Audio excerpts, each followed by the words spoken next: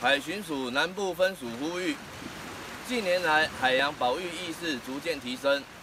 任何影响海洋生物或破坏生态环境的行为，都可能引起社会大众的重视与公愤。南部分署将持续配合海洋委员会、海巡署、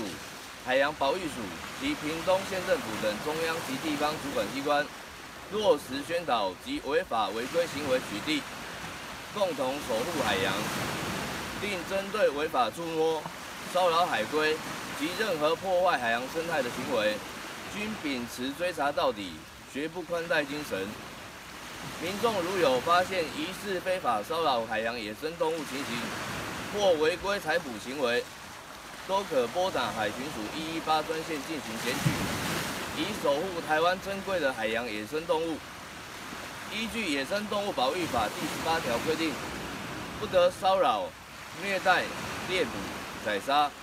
违者可处一年以下有期徒刑、拘役或并科六万元以上三十万元以下罚金；